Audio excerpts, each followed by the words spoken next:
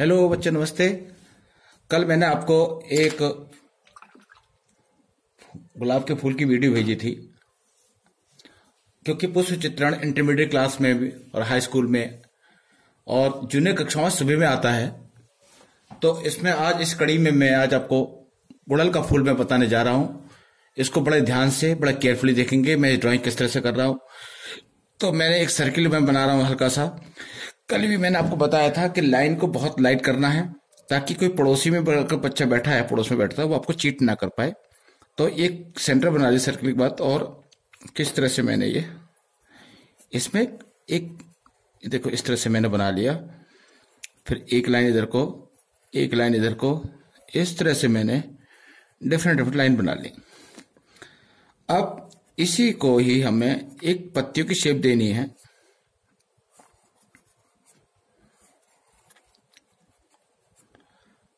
पत्तियाँ गुड़हल में पाँच होती हैं। एक, दो, तीन, चार, पाँच। तो पाँच पत्तियाँ हमने बनाई हैं और इस तरह से इसकी ब्रांच बना ली मैंने।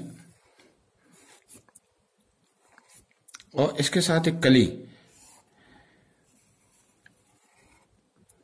फिर एक पत्ती के लिए लाइन खींच दी हमने। एक पत्ती इधर, एक पत्ती इधर, क्योंकि चार पाँच पत्ती बननी चाहिए कम से कम इसमें। तो तरह तीन चार पत्ती की मैंने लाइन खींच ली।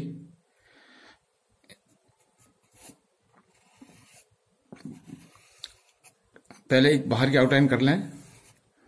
फिर इसमें जो कट्स वगैरह बनाने हैं पत्तियों के, वो बाद में हम लोग कर लेंगे। पहले इसके हल्का सा रेखांकन हम कर लेते हैं। और ये हमने इसकी कली बना दी। इसके बाद इसका पराग ये बना देते हैं साइड में, इस तरह से। ये हमारा फूल तैयार है लगभग। फिर इसके बाद कलर कलर की परंपरा मैं आपको बता देता हूँ, वही मैंने पहले भी बताया था। हम कलर को लाइट से करके चलेंगे, फिर डार्क करेंगे। तो हमें एक साइड से डार्क कर दिया मैंने।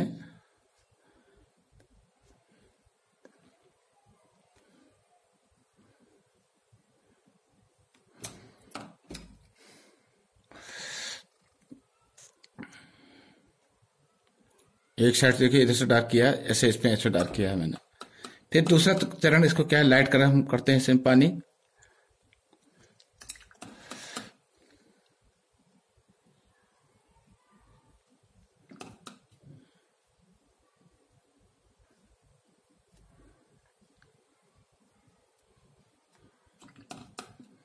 अब देखिए इस तरह से बनता हुआ आ रहा है आपके सामने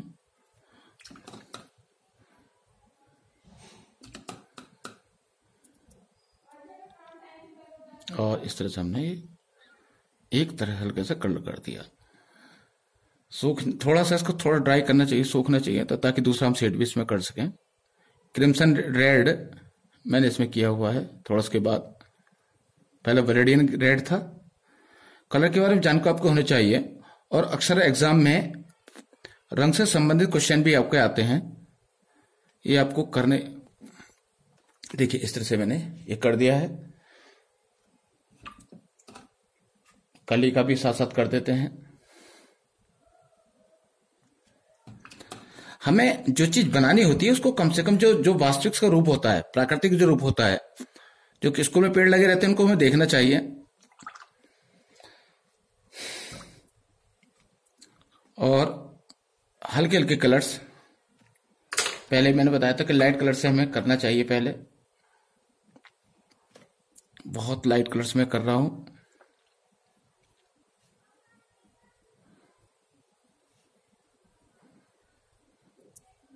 आप कहेंगे येलो क्यों कर रहे हो? येलो इसके बैकग्राउंड में हो जाएगा कलर्स और सूखने के बाद इस इसको को थोड़ा सा हम इसको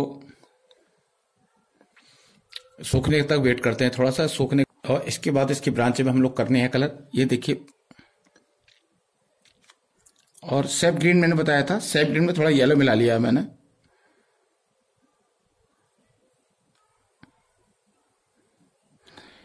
परीक्षाओं में आपके पास काफ़ी पर्याप्त समय मिलता है।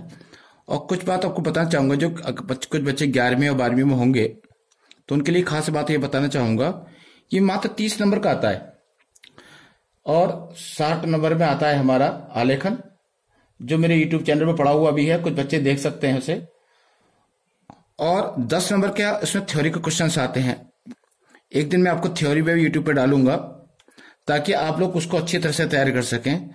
मेरा मकसद यही है कि आप लोगों के अधिकांश नंबर बोर्ड में आए और आप इस आर्ट सब्जेक्ट को खाली इंटरमीडिएट तक सीमित ना रखें। आगे तो कोई एज ए कैरियर भी हम उसको बना सकते हैं। कुछ लोगों को जानकारी अभाव होने की वजह से वो भटक जाते हैं और जब हमारा समय निकल जाता है तो बच्चे बाद में उससे मिलने आते हैं कि, सर, आप क्या करें? तो बाद में, क्योंकि जब समय निकल जाता है तो उसमें हम लोग भी असमर्थ हो जाते हैं कुछ गाइड करने में। तो पहले अगर लक्ष्य हमारा हो जाता है तो हम उसको अच्छी तरह से आगे उस लक्ष्य पर बढ़ सकते हैं।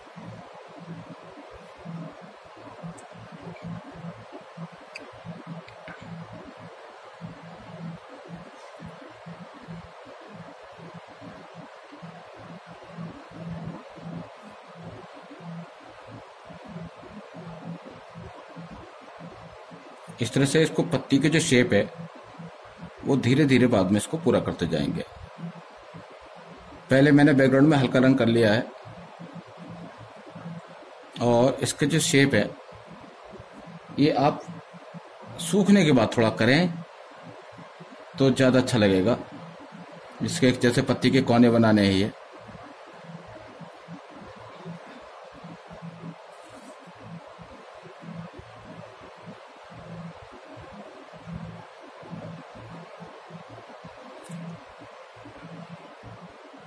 इस तरह से ये देखिए, पूरा होता आ रहा है आपको धीरे धीरे आपके सामने। एक किस तरह से मैं लाइनिंग कर रहा हूँ, ध्यान रखें। एक एक पत्ती की मैं भी दिखा भी रहा हूँ आपको। ये लाइन आउटलाइन कर ली। फिर किस तरह से मैंने लाइट कलर किया इसके अंदर। और धीरे धीरे इसकी आउटलाइन हम किस तरह से पूरा करेंगे, ये हम लोग कलर से कर रहे हैं।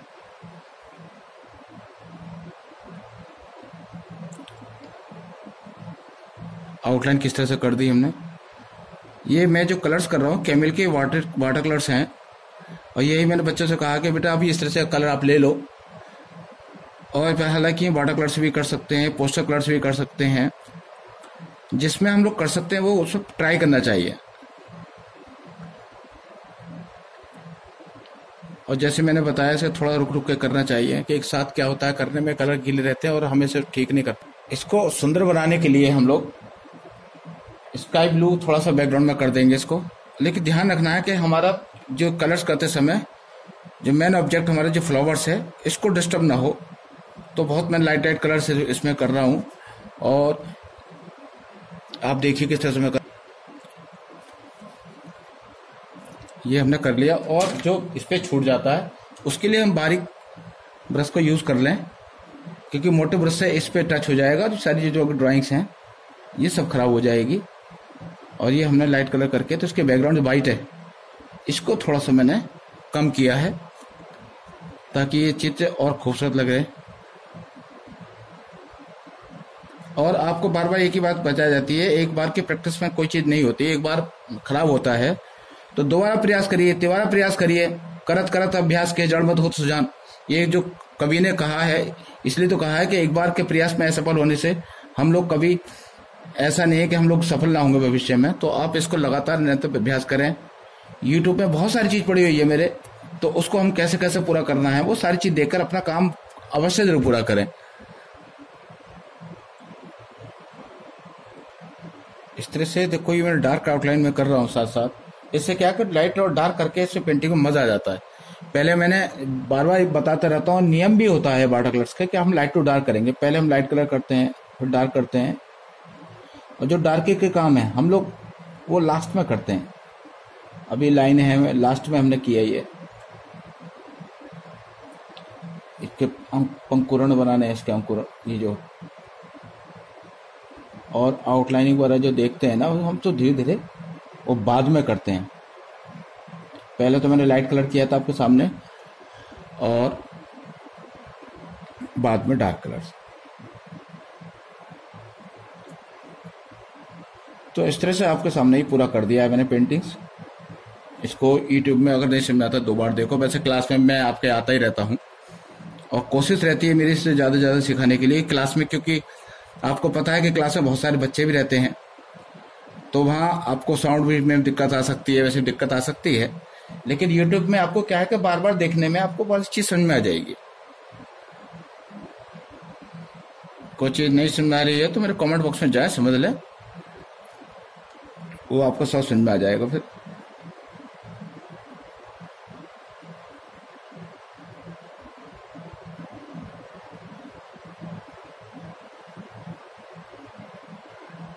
अब मैं थोड़ा सा इस आउटलाइन से थोड़ा सा चीज़ को उसको कर रहा हूँ।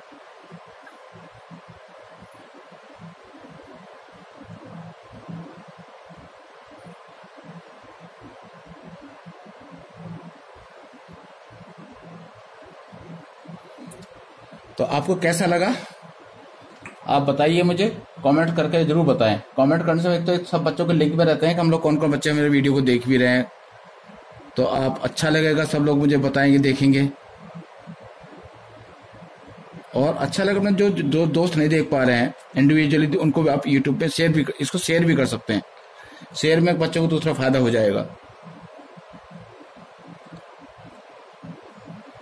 ये देखिए, आज मैंने काम बता रहा हूँ और नज़दीक से थोड़ा देखेंगे इसको। तो एक एक चीज़ डिटेल आ जाएगी आपको बताएँ। इसको थोड़ा सा कैसे कर रहे हैं हम लोग। Thank you thank you very much